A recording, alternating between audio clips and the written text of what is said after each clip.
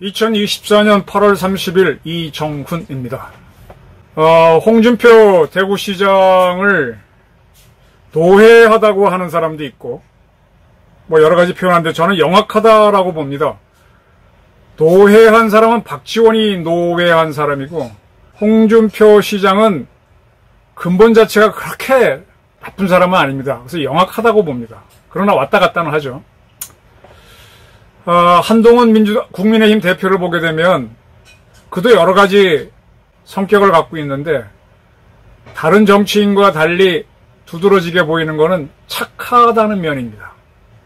그를 제가 아까 홍준표 시장을 영악하다라 그랬는데 그를 착한 홍준표에 비교하자고 합니다. 착한 홍준표.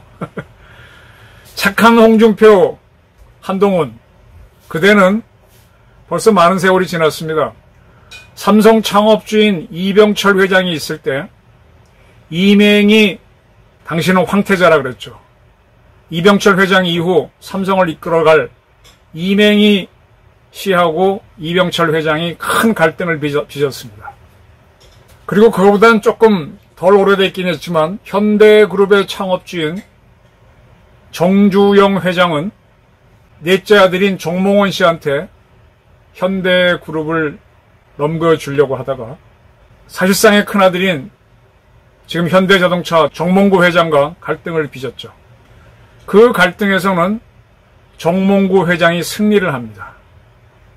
저는 착한 홍준표 한동훈 씨한테 삼성이 겪었던 부자의 갈등, 현대가 치렀던 부자의 갈등 이야기를 들려주면서 바른 판단을 해라 라는 주문을 하고자 합니다. 음, 이 방송을 보시는 분들은 남자인 경우에 아들이 있습니까? 아들, 딸을 구별하지 말라라고 하는데 이 아버지한테 아들은 조금 특별한 존재인 것 같아요. 그 아들하고 사이가 안 좋은 사람들이 상당히 많은 것 같은데 그 아들을 좋아하고 기대를 품고 있는 아버지라면 가끔은 이런 문제에 부닥칠 겁니다. 좋아하는 아들이 내가 바라는 길을 가지 않고 다른 길을 가버립니다. 참 난감하죠. 이때 아버지는 어떠한 모습을 보이나요? 실망해서 연을 끊을까요? 아들을 야단칠까요? 강제로 잡아 끌까요? 아니면 마이웨이를 하면서 독해질까요? 저는 삼성이나 현대, 이 창업주 또는 큰 정치를 한 아버지라면 훨씬 더 강해진다고 봅니다. 강해지지 못하는 리더라면 그는 그 자리를 유지할 수도 없습니다. 쉽게 얘기하겠습니다. 착한 홍준표, 한동훈, 윤석열의 영린을 하지 마라. 윤석열의 대들지 말라. 이런 얘기를 하고자 합니다. 아, 지금 한동훈 대표는 코로나를 핑계로 다스간 입원했던 이재명 민주당 대표와 여야 회담을 하겠다고 했죠. 그런 그가 지금 의정 갈등 해법에 대해서 윤석열 대통령이 양보해라 라는 주장을 페이스북에 썼습니다. 어, 뭐 저는 보통 사람보다는 많은 사람을 만나는데 제가 하루에 만날 수 있는 사람들이 한정이 되잖아요. 또 만나면은 차도 마시고 밥도 먹고 술도 한잔 해야 되고 이 얘기 제 얘기 하다 보면 그러니까 물리적으로 만날 수 있는 사람은 하루에 뭐 많아야 여러 명이 동시에 자리한다 그래도 10명을 넘기 어렵죠. 대신에 이제 이것저것 카톡이나 뭐로 많은 걸 받아보면서 아, 이 사람들의 생각이 이렇구나라는 거는 읽고 있습니다. 페이스북도 보고 뭐도 보고 이메일도 보고 참 저한테는 저는 지금 많은 단톡방에 불려가 있고 많은 분들로부터 뭐 카톡이나 문자를 받고 있습니다. 그러면서 보고 있는데 아, 요즘 대세를 보니까 매우 보수적이고 친윤적인 사람들이 윤석열 정부가 추진했던 의료 개혁에 대해서 부정적으로 돌아섰습니다. 왜? 그분들은 대개 쉽게 얘기하면 서울 강남에서 부유층인 경우가 많습니다. 이들이 병원에 가보니까 아 지금 수련인가 전공의가 없어갖고 불편하더라 이겁니다. 에, 김종인 비대위원장이 자기가 뭐 문제가 있어서 응급실에 가려고 했는데 응급실에 시스템에 문제가 있어서 즉 전공이나 수련의가 없어서 몇십 군데를 돌아다녔다가 뭐 어쨌다라고 가볍게 얘기했죠. 그게 기화였던 것 같아요. 만약에 그때 김종인 씨가 그것을 사례로 들면서 윤석열 정부를 격렬히 비난했다면은 달랐을지 모르는데 그가 그냥 차분히 얘기하고 그냥 팩트처럼 얘기하고 지나갔는데 뉴스에 민감한 강남의 보수파들이 그걸 근거로 야 윤정부 이 의료 개혁은 왜 한다 그래서 불편하게 만드니 그리고 사령관이나 최고 지도자가 뭔가 결심을 해서 일관성 있게 가는 건 중요하지만은 상황이 변하면 그거를 번복할 용기도 있어야 된다라고 많이 권유하고 있습니다. 그리고 이제 저한테도 물어요. 이정훈 기자는 그 전에 윤석열 정권의 의료 개혁을 지지했는데 지금도 같은 입장이냐. 뭐 저도 한 가족 문제로 응급실에 가보니까 뭐 크게 불편한 걸 모르겠는데 뭐 어떻게 보니까 사람이 없어서 좋긴 하더만요. 빨리빨리 되니까. 근데 이제 의정 갈등을 쉽게 해결하지, 해결하지 못하고 질질 끄는 윤석열 정부에 대해서는 답답함을 많이 느끼고는 있습니다. 제 결론을 말하면 저는 아직 의정 개혁을 포기할 생각이 없습니다. 그걸 포기하면은 윤석열 정부는 오히려 위기를 맞을 수 있다라는 게 저희 정치적 판단입니다. 제 생각은 이런데 지금 한동훈 대표는 페이스북을 통해서 국민의 생명과 건강이 위험에 처해 있는 있다면은 그 대안이 무엇인지 그 본질에 대해 정면으로 말해야 한다라고 하면서 나는 지금 국민의 생명권에 대해서 이야기하고 있다. 그러면서 의료 개혁을 필요하고 의사 증원도 필요하지만 지금 윤 정부가 하는 의료 개혁을 중단해 달라라고 얘기했습니다. 그러면서 강조한 것이 국민 생명 생명권에 대한 것이다라고 추가를 했어요. 이 한동훈 씨는 아직 실전 감각이 없고 검사로서 많은 수사를 했다고 하지만 그거는 걸르고 걸러서 경찰이 해주고 뭐 해주고 서류로 판단하는 거지 현장에 가보면 제가 기자로서 현장에 가보면 피 냄새 나고 땀 냄새 나고 소리 지르고 빵빵거리고 하면 정신이 없죠. 거기서 뭐가 판단이 돼요. 남들이 판단해 준 걸 쭉 갖다 놓고 논리모순을 찾아서 이게 진실이었구나 추정하는 거는 아주 쉬운 일이죠. 한동훈 씨가 해, 한 것이 그것이 주력이죠. 뭐 제 친구들 검사들 보게 되면은 실제로 네가 수사를 했지만 현장에 나가서 해봤냐 그러면 한 번 정도. 예. 근데 진짜 수사는요 경찰들하고 옛날에 참 재밌게 많이 놀았어요. 제가 신창원 사건을 수사했던 형사들하고 같이 뒹굴면서 술 먹으면서 이야기도 듣고 또 그들처럼 탐사 취재도 해보고 뭐 오대양 사건, 아가동산 사건 많이 했다 그랬죠. 참 지겨운 게 잠복 수사더라고요. 아씨 누가 어디 올 것으로 예상해서 주야장창 거기서 뻗치게 하는 게 정말 지겹습니다. 한 시간 내에 탁 두고 빠져나가야 이게 신나는데 그냥 하일 없이 버티는 게 어렵거든요. 근데 그 버티는 것부터 해야 돼요. 똑똑한 사람은 그걸 잘 못해요. 이제 그런 경험을 갖고 있는 한동훈 씨는 국민 국민 얘기하고 동료 시민 얘기하는데 이 국민과 시민이 얼마나 변화무쌍한지 알고 있는지 궁금해요. 어제까지 야 이정훈 잘했다고 하는 사람이 그 다음날 만나면 쌩 하고 돌아가는 경우 많이 봤습니다. 또 쌩 하고 돌아가는 사람들이 어유 뭐 자네 보니까 대단해 하고 또 칭찬하는 사람도 많이 봤고요. 정말 아 그냥 일관성이 있게 쭉 대해주는 사람들은 그리, 그리 많지 않아요. 그런 사람들이 대부분 대인이고 왔다 갔다 하는 사람들은 그때그때 달려가는 사람들은 다수이고 그들이 보통인 것 같아요. 지금 국민들이 불편하다. 아니 개혁을 하는 과정이 개자가 뭡니까? 고칠 개자, 혁자는 가죽이잖아요. 가죽을 벗겨내는 게 개혁인데 개혁을 한다 그러면 얼마나 불편합니까? 가죽 벗겨내면 사람이 살아요? 그리고 새 가죽을 씌우, 씌우면 금방 사나? 그게 정착이 돼서 저항이 없어야 살지. 그리고 나서 이제 새롭게 죽지 않아야만 뭐 새롭게 뭐가 해볼 수 있다. 수술하는 것과 비슷한데 수술하고 사람 수술한다고 사람 이렇게 개복 배를 갈라놓으면은 마취를 해서 그렇죠. 얼마나 불편하고 아픕니까? 수술 끝나고 난 다음에 회복하느라고 사람이 마취 풀리면 거의 초죽음 상태로 갔다가 서서히 회복하잖아요. 근데 그것이 고통스럽고 그게 생명권에 관한 것이다라고 하면서 개혁을 중단하라. 아니 잘못된 개혁이면 중단해야 돼요. 근데 그 잘못된 건지 아닌지 그게 확인된 건 없고 국민이 불편하다 예상된 상황이 나오는데 그걸 핑계로 중단하라 그러면 이거는 개혁을 아니한 만도 못하죠. 자, 제가 이 말씀을 왜 드는가 하면 윤석열 대통령을 지난 2년 6개월간 지켜보니까 그는 분명히 대통령 될 준비를 하지 않고 대통령이 된 사람입니다. 그냥 문재인 정권의 보수 세력에 밀려서 이렇다 할 대통령 후보를 낼 수가 없었어요. 그 전에 냈던 홍준표도 또 그 전에 검토했던 반기문도 누구도 누구도 다 어? 문재인 정권하고 맞설 사람으로 안 보였어. 그런데 문재인 대통령이 임명했던 윤석열 검사가 중앙지검장을 거쳐 검찰총장이 되더니 그 무도한 윤석열 정권의 조국을 수사하면서 대드는 모습을 보였기 때문에 이 홍준표 등 영악한 보수 세력에 지친 사람들이 그를 대통령으로 추대하려고 그랬죠. 그는 대통령 꿈이 전혀 없었기 때문에 도망다녔잖아요. 나중에 사표를 쓰고 잠적을 했다가 국민이 원한다면 하겠다는 식으로 받아들였잖아요. 그래서 선거에 나섰고 선거에 나섰을 때 보게 되면 특별한 전략은 없었어요.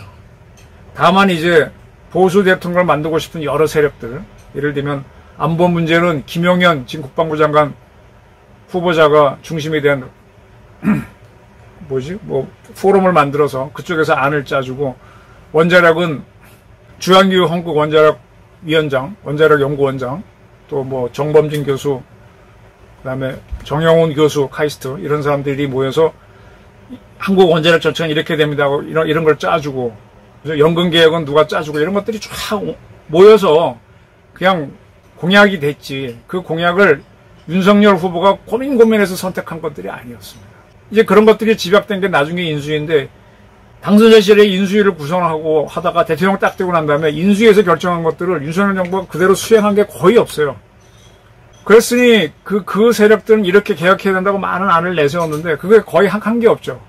그리고 이제 마음 약한 모습을 보였죠. 자기를 임명했던 문 대통령을 제대로 치지 못했고 그러다 보니까 뭐 문정권 사람들하고 과거사 정리도 안 되고 뭐도 안 되고 질질질 끌려가다가 지방선거는 대선 바로 직후에 한 거라서 간신히 이겼지만 총선에서 완패를 당했습니다. 이제 그 와중에 윤 대통령이 하나 운이 좋게 잘한 거는 미국과의 관계를 완전 개선해서 한미 안보 체계를 공고히 한 거죠. 근데 그것도 자세히 보면요. 저는 불만이 있어요. 지금 북한의 핵에 대응하려면 우리가 자체 핵무장을 해야 됩니다. 그는 그를 지지하는 세력들이 써준 대로 자체 핵무장론을 주장했었어요. 그런데 2023년인가 미국을 국빈 방문해서 미국이 NCG 핵 컨설팅 그룹을 만들어서 한국 안보를 북핵으로부터 지켜주겠다라고 하니까 핵 포기를 약속했죠. 자체 핵무장 포기를 쉽게 약속했습니다. 그렇게 하는 게 아니라 이 앞선 방송에서 정철광 박사가 그 말씀을 드렸는데 NCG도 그것도 뭐 구두선이고 뭐가지 않느냐. 그거보다는 더 강력하게 한미 방위 조약에 주변의 핵으로부터 대한민국을 보호한다라는 조항을 삽입하거나 아니면 한미 연합사 작전 계획에 주변국에서 핵을 사용했을 때 한국을 지키는 작전 계획을 집어넣게끔 그래 그게 구체화된 거죠. 그런 걸 해야 된다는 그런 걸 다 안 했습니다. 쉽게 쉽게 한 거죠. 근데 워낙 한미 관계가 안 좋았는데 그걸 복원했기 때문에 우리가 박수를 치긴 했지만 이 프로페셔널한 국가 전략가의 모습은 못 보였습니다. 자랐다는 안보조차가 안보도 그렇고요. 그리고 그러다 보니까 안보에서 맹점이 지금 병장들 봉급이 200만 원 가까이 됩니다. 제가 제 아들을 학군 장교로 보냈는데 몇 년 됐어요. 몇 년 됐는데 그때 보니까 그 녀석 본봉이요. 본봉이 180만 원이었어. 160만 원인데 뭐 수당에서 180만 원, 소대 운영비에서 200만 원 정도 되더라고요. 몇 년 전입니다. 그리고 그거를 궁금해서 이제 그때 하사 중사 상사라 보니까 하사들이 150만 원, 수당 합쳐서 180만 원, 중사가 뭐 한 쏘이랑 비슷하고 그 정도였어요. 이제 그들은 그리고 나서 몇 년 지났지만 많이 오르진 않았는데 지금 병장 봉급이 하사보다 많고 소위에 육박하니까 이게 문제가 생겼잖아요. 근데 그거를 공약으로 만든 게 윤석열 대통령이잖아요. 그걸 또 그건 또 현실화하고 있어. 국민들한테 맞춘다고. 이제 우리나라 젊은이들이 대개 대학을 가니까 군대에서 복무하고 나오면은 대학 학자금 정도는 벌어서 나갈 수 있도록 해준 건데 이러다 보, 이러다 보니까 고급 장교들이 부족해지고 군이 무너졌죠. 이런 거는 안보 문제에 대해서 윤 대통령이 깊이 생각한 사람이 아니란 뜻이에요. 한미 동맹은 풀었지만. 자, 굉장히 어설픈 대통령이 윤석열이었습니다. 그리고 이제 지난 2년 반 내내 이재명한테 당하고 모두 당하고 하면서 이제 본인이 많이 이제 바뀌었습니다. 바뀌면서 아 대한민국을 지켜온 정통 보수는 이렇게 싸웠구나. 그전에는 윤석열은 싸우지 않는 사람이었다면 검사로서 수사하기 위해서 싸우는 거야. 뭐 직업적으로 싸우는 거지만 본질적으로 혁명가처럼 의지를 갖고 지도자로서의 투지를 내는 모습은 못 보였는데 그게 지금 2년, 2년만 사이에 만들어졌습니다. 그 만들어진 가장 좋은 증거가 제가 몇 차례 말씀드렸죠. 저는 신원식 국방부 장관을 안보실장이 임명한 것을 지지한다고 제가 방송에서 밝혔습니다. 신원식 정도, 그분도 여러 가지 문제는 있어요. 그렇지만 그 정도 강경한 사람이 안보를 책임지는 자리에 가는 게 옳다. 장진호 안보실장 갖고는 안 된다. 아, 미안하지만 봤었는데 지지한다 그랬고 그런 사람을 안보실장으로 쓴 게 시작이었고 두 번째는 이 앞선 방송에서 제가 김문수의 강단에 주목한다. 홍준표는 김문수를 두려워하지 않느냐 뭐 이런 방송 제목을 달고 방송을 했는데 김문수라고 하는 사람을 고용노동부 장관에 임명한 겁니다. 김문수하고 김문수 형님은 야인으로 있을 때 가끔 여의도에 있는 그의 사무실에 가서 뭐 놀기도 하고 뭐도 하고 했는데 그가 그렇게 윤석열 대통령하고 친하지 않아요. 전혀 친하지 않아요. 나이도 본인이 많고 이렇게 드라이하게 이야기는 해도 뭐 살다껏 굴거나 뭐 고개 숙이고 하는 사람이 아니에요. 신원식도 그렇고. 그 전혀 윤석열한테 딸랑이 할 의사가 없는 사람을 지금 복잡한 노동 문제를 다룰 장관하고 안보 문제를 다룬 책임자에 임명했습니다. 이건 뭐냐? 윤 대통령이 그동안 필요한 사람, 잘하는 사람을 쓴 게 아니라 각 개파에서 옥립하는 이런 사람들을 썼고 자기가 컨트롤할 수 있는 사람을 썼어요. 그러면서 야당하고 그다음에 북한하고 싸울 수 있는 파워가 딸렸던 겁니다. 어, 지금 정진석 씨를 비서실장에 임명했는데 비서실장 정진석 씨도 윤 대통령보다 나이가 좀 많죠. 그렇게 친한 사람은 아니에요. 근데 그 사람을 쓴 거는 이 대통령실을 으쌰으쌰 끌고 나가는 게 그 공무원 출신 써봐야 안 된다는 걸 본인이 안 겁니다.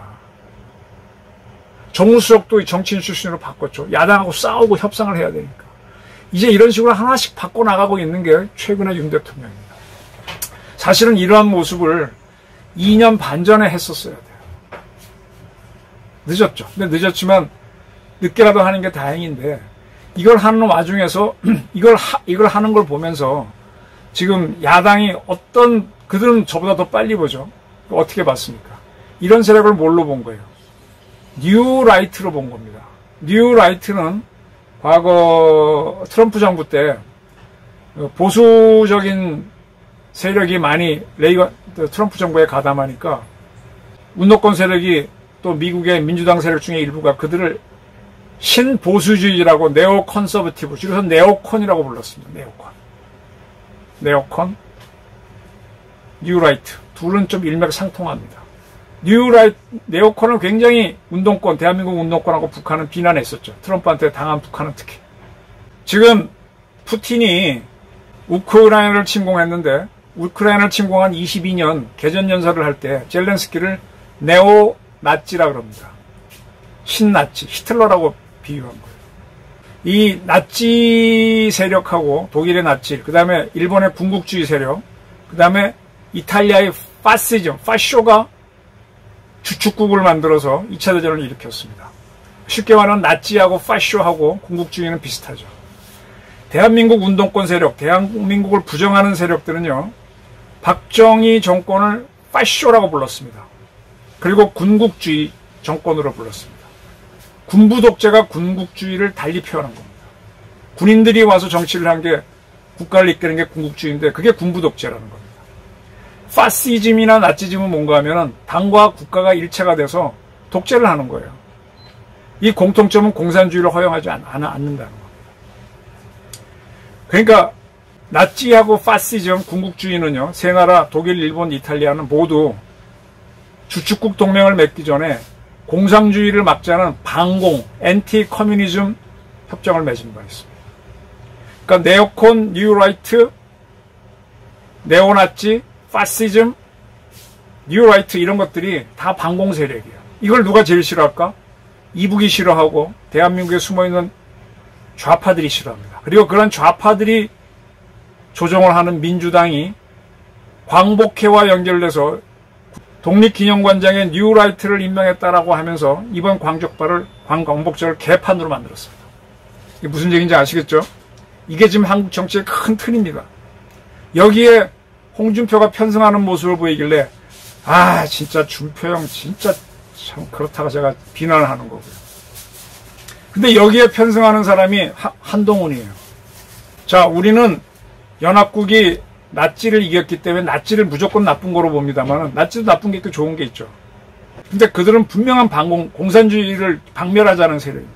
그래서 공산주의 세력은 순수 연합국을 분리, 공격하면 자기들이 당하니까 나치를 공격하는 걸로 보수 세력을 공격합니다.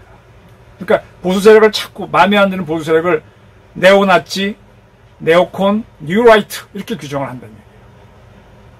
지금 김형석 독립기념관장을 본인이 뉴라이트인지 뭔지 난 모르겠다. 난 내, 내 길을 가는 건데. 근데 그런 사람을 뉴라이트로 규정하는 거는 그 의도가 뭔지 보인다는 겁니다.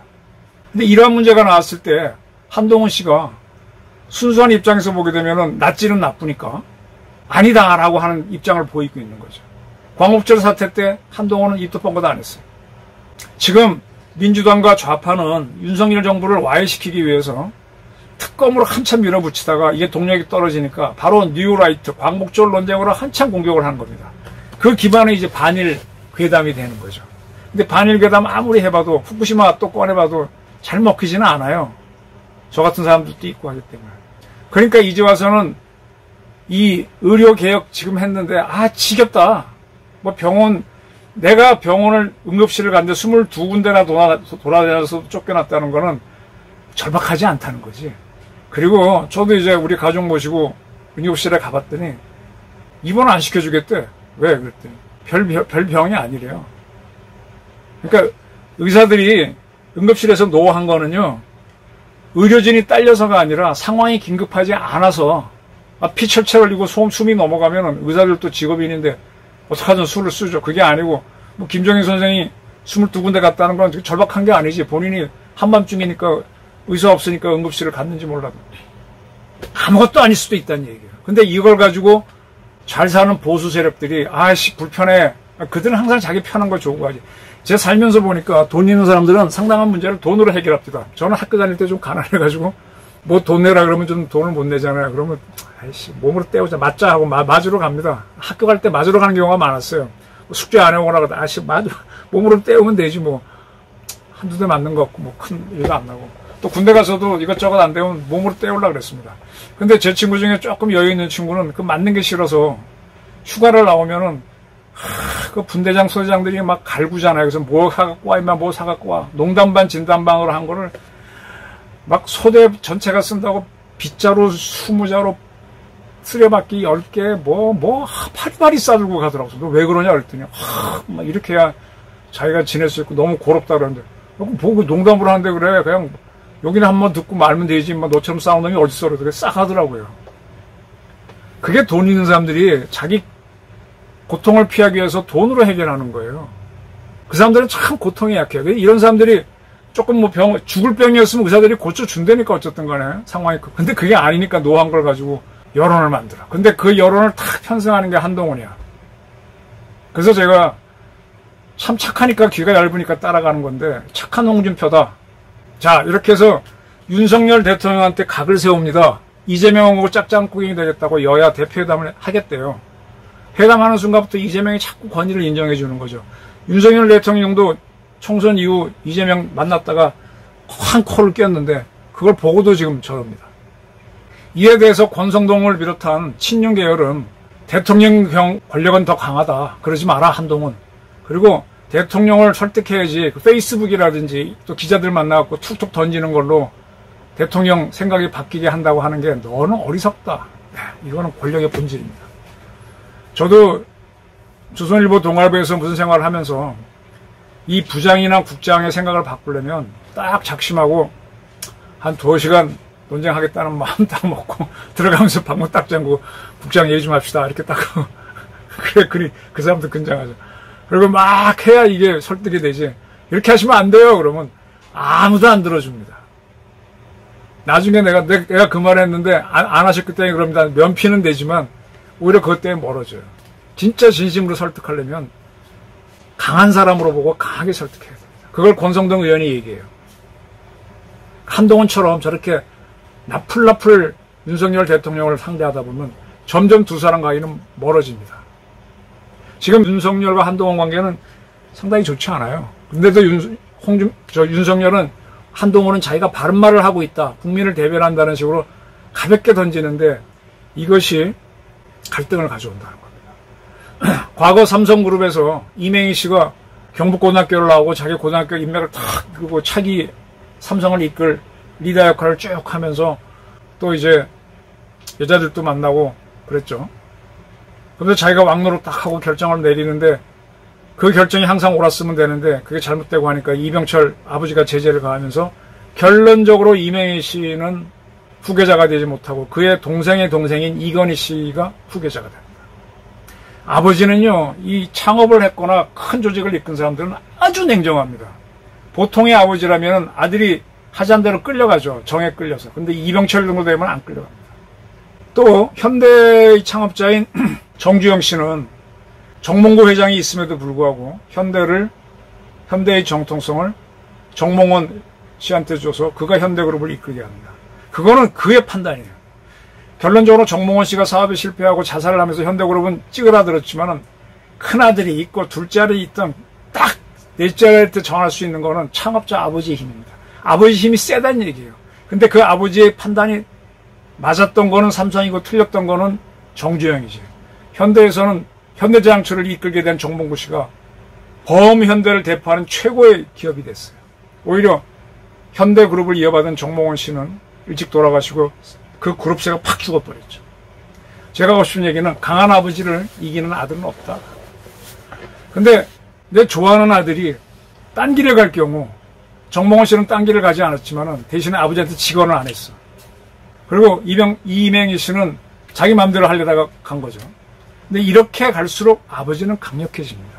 한동훈 씨가 나는 대통령한테 국민을 대신해서 이런 의견을 전달한다라고 생각하는 것 자체가 저는 윤석열 대통령 지금 김문수와 신원식 그리고 정진석 이런 사람들을 포진해 나가는 윤석열 대통령을 더 강하게 만들고 오히려 한동훈을 내치게 되고 그런 요소로 작동할 거라고 봅니다.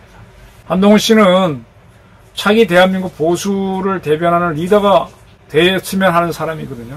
그렇다면 그는 제가 금방 말씀드렸죠. 응급실 문제가 있긴 있습니다만 그게 절박하면 대한민국 의사들도 그렇게 움직이진 않아. 별거 아니니까 아예 그냥 가세요. 그래 그런 걸 수도 있다는 걸 이해하라는 거예요. 내가 겪어봤으니까. 내가 우리 가족 모시고 갔는데 한참 아들이면 이건 안 돼요. 어, 물론 그 본과 의사가 또 판단해서 해준다 그러면 해줄 수 있지만 그날 당직 의사로서 자기는 이건 이번 응급 입원할 상황이 아닙니다. 그냥 쿨하게 얘기하더라고요. 네? 그 정도의 윤리는 우리가 갖고 있습니다. 여기에 속지 말라는 겁니다. 착한 홍준표, 한동훈, 하... 너무 가볍게 처신하지 마라. 제2의 홍준표가 되지 마라. 저희 부탁입니다. 감사합니다.